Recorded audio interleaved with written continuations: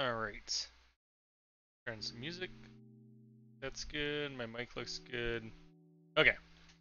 So this video is my second video in my kind of Altium series I'm coming up with here off the top of my head. Um, for this one, I want to go over kind of impedance control. Um, we'll go through like a USB example. So yeah, let me let's start from there. So my Altium design, let's do a file, new project. Um, USB example. And let's make schematic and also add a new PCB. Um, I will add my libraries to this. So I have an Altium library, a master setup here. Um, so for some of you that are not engineers, um, impedance routing means that you have a set resistance kind of for quality. Um, generally, USB is 90 ohm impedance, and RF is 50 ohm impedance, and it has to do with the impedance and the signal and the speed, and that comes down to like reflections and power transmission or loss. It's kind of a sweet spot for both communication protocols. So for USB, like I said, 90 ohms is kind of your uh, sweet spot. So what I'll do is go to my components. I will just go to my master library here. Um, get this to say Altium tutorials.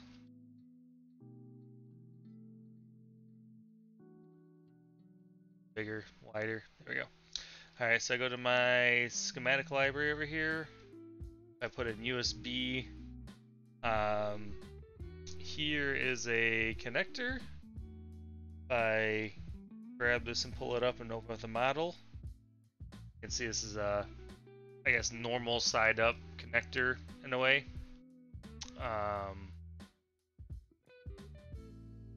so yeah, so what we'll do is start signals here. Um, it's also for impedance routing. This in this case, it's impedance routing for differential signals. And what that means is USB. There's a positive and minus signal, so differentials. One's a positive, one's a negative. And there's some manipulation through here of how to transfer data like this. Um, I'm not really an expert in differential signals, but I understand it a little bit. Um, oh. Let's see where this... I think this is in my documents, maybe?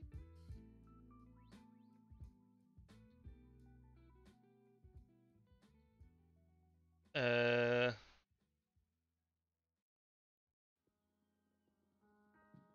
Recent? Uh, yeah, I don't know where to save this. That's alright, we'll get to it later. Anyways, um, for now I'll just call this VBus. And when you do differential signals, what you have to do is do underscore N for one of them and underscore P for the other one for positive and negative. And you have to name the nets, so you name your nets, you also do a differential pair directive where you can add a differential pair net class, uh, call it USB, um, drop those here, here, just like that. Um, so as I keep building this up, this will make more sense. So also what I want to do here um, I'm just going to throw a chip on here to um, kind of simulate what most systems do. So most systems, well, I guess it's it's changed a little bit, but uh, older systems, I guess let's do some on desktop.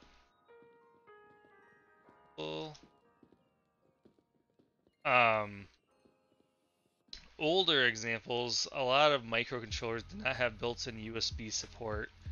Now with all the Cortex stuff and everything like that, it changed a bit. Um, so nowadays, probably 20 25% of micros do support um, do support uh, USB natively. So now you don't need this transceiver, but this was kind of the old method of having to put this, they call it a bridge. So you have a bridge here that is able to take your USB differential and transform it into a UART serial string. Um, let's grab a Eric resistor 603. Just grab whatever from here. Um, usually this reset line is like a you need a pull up for it to keep it active. Um, I don't have a 3.3 volt source, but I put a port here and this and throw nets around real quick. Um, this has a built-in voltage regulator, but we don't need that. Grounds are good. Um, what else? Oh, if you look at a lot of reference USB diagrams, um, see a resistor in line here, and that's for signal integrity. Um, if you throw a little bit of resistance, like usually for USB it's like 27 ohms on this line, it will help you with signal immunity from external signals, um, especially differential signals. They, they, can get a lot of noise, even though they're supposed to be end phase and cancel out. And that's how it kind of works. But, anyways, um, so usually this goes your micro. This would be like MCU RX, MCU TX. Uh, RTS and CTS is like request to send and clear to send, kind of like a handshaking protocol for USB, but we're not going to worry about that either. Um, this example is basically just going over how to set this up. File this. There are some errors. Has one pin, only has one pin. Um, what that means is it doesn't like the port.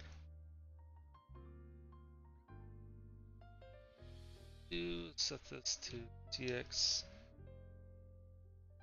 RX. I have my project set up. You can have your project set up where you can have the ports name your signals for you as well. Not have it set up for this project.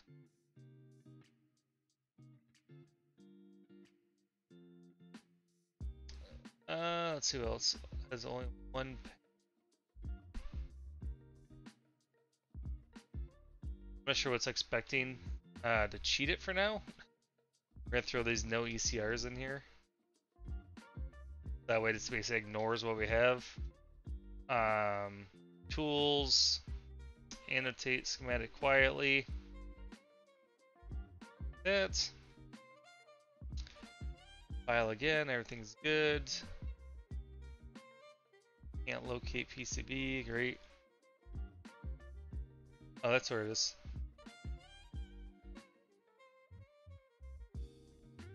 Um, I'm not gonna use rooms for this. I don't use rooms a lot for my my projects. I should learn how to use them better, but I'm not going to for now. Um, so got that going. Now we look here, we have our little circuit here. Now the first thing you have to do for differential signals and for impedance routing in general is you have to go to your design and layer stack manager. Let me open my calculator because I know it. So here's our layers. Um, obviously it's a little bit small you know, generally you want to aim for a 60, 62 mils is your normal size circuit board. So if we take all these, 62. Um, so we need 45.8 more. Change this to 8.4. Now I have a total thickness here of 62. So this is for a two layer board. If you click down here on this tab down here on impedance, it'll open this side here for an add impedance profile. And what this says is it gives you a top and bottom reference for a two layer board. There's only top and bottom, so it's fine. If it's a four layer, it basically give you multiple options to say between layer, top layer, plane one, plane one, plane two, plane two and ground. So it gives you three different options to select from. Um, and all you want to do is you want to select differential here in your properties. Target impedance, so I said 90 ohms, just like that. And what that gives us here now, so if you click on it, it shows you the actual stair, uh, layer stack. Um, you can pick different gaps to tell yourself different widths here. So for cost, I'm gonna try keeping this six mils. So that means our trace width has to be about 19.74 mils based on how thick the circuit board is. If I cut it in half, so say I had a half um, board. So instead of um,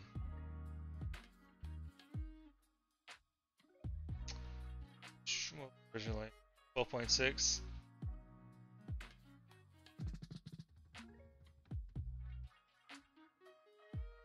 so let's say it was a 31 mil so 14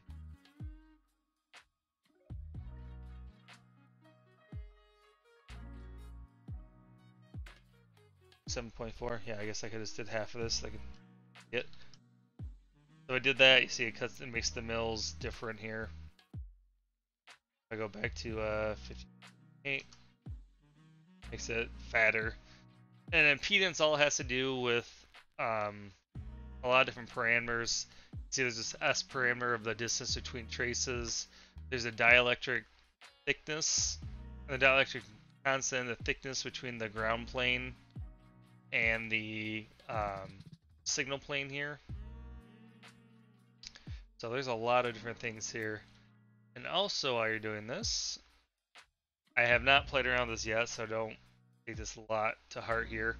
Um, you can put in material parameters now with Altium based on what you're actually doing. So like uh, HASL lead free, you can pick your different foil thicknesses. You can pick your core and prepreg sizes.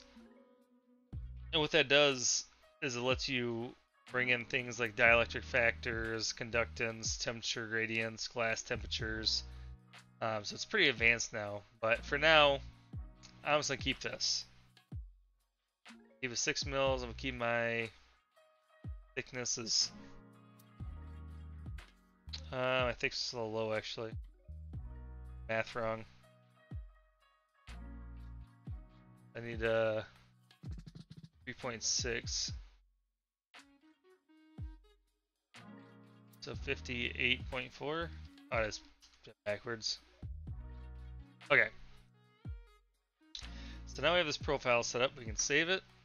Go back to here. Uh, let me just, just connect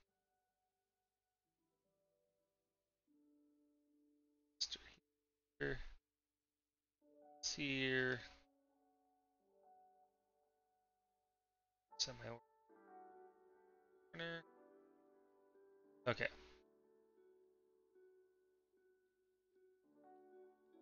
Okay. So next, go to our design rules. And under differential pair routing, make a new rule. And we can pull in our USB class and we can click use impedance profile that we just created and that sets the gaps and preferred widths for everything. Okay, hit OK. Uh, now if you look at our design, you'll notice one thing that's kind of annoying, I guess more or less about this type of connector. It's upright, nice USB one, is generally no matter what transceiver you pick, these signals are going to be swapped. Ideally, you always want the, the signals to be right here, where you have positive and negative, backwards, no matter what. So it gives you two options. You can put it this way, and put the signals on this side, and you do route differential pair routing.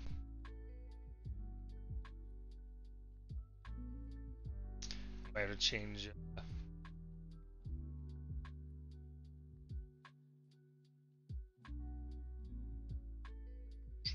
Oh, I've changed my dielectric thickness because how wide these are. Oh, these are gonna. Oh, never mind. I know why. I know why. Um, design rules, appearance. Set everything six.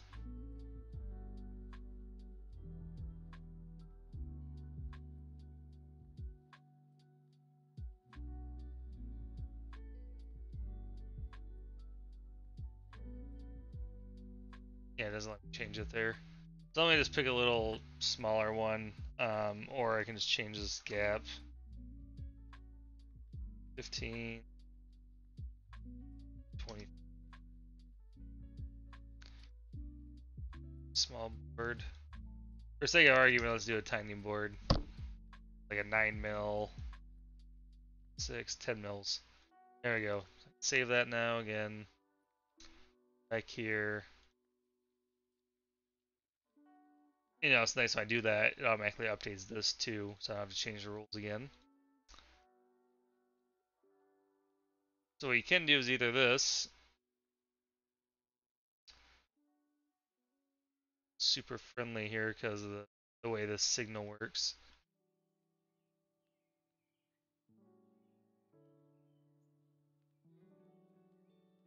You see that another problem with this thickness is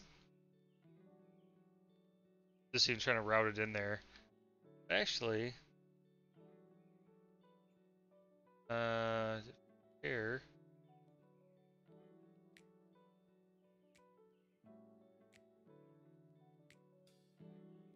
Go to 10. Yeah. So yeah, for some reason it has a hard time doing it this way. Um, that's kind of the ideal way, but what ends up happening a lot of times... Ooh. Change my via rules real quick. Uh, routing vias, let's do like... Visualize numbers I'm throwing in my normal numbers I use. The reason I use these numbers is uh, manufacturing cost. Once you do this for a while, you can start seeing the different patterns and of things. Right. This. Drop this down to here. And that. So now, if I go to my PCB, you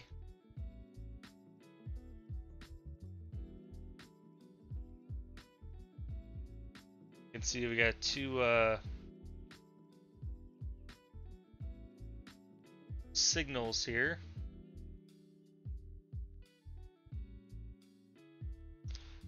The routed links are matched, the signals are matched, so they're all essentially the identical signal. Um, so yeah, that's that's kind of a quick look at how to do it. Um, usually the way you want to do it for USB and high-speed signals is you want to have a ground plane to actually reference against because when we did this calculation this stack up, you know, it's kind of assuming that this bottom plane is a ground plane in a way. Um, or technically we're it might not be that way for especially like a two-layer design. You know, when I start routing a lot of things around here, I could have easily passed signals under this. I mean, I could add a keep out as well, keep all this as ground, so that'd probably be the better idea. So you'd have a um, trace keep out of just making this all ground the whole time. Keep it a, a constant number. But in four layer designs, you have that extra layer that you don't have to worry about it anymore. So, oh uh, yeah, so I'm, I'm, gonna keep making some more videos, um, more and more Altium tutorials. trying to uh, get more people on, the, on board with the Altium here. So, um, any comments, videos you'd like to see, just feel free to leave them down down below in the comment section. If you like this kind of content or just design engineering in general, electronics, um, I have a Twitch channel, um, Brobotix, same name as my YouTube channel, Brobotix 0x57, uh, Twitter, Instagram, yeah, so everything. Or subscribe here, obviously on YouTube as well. So, all right, appreciate appreciate uh, tuning in and watching me, and uh, hopefully this is some good content. You learned something, and uh, I'll have a couple more videos up soon. All right, see you guys later.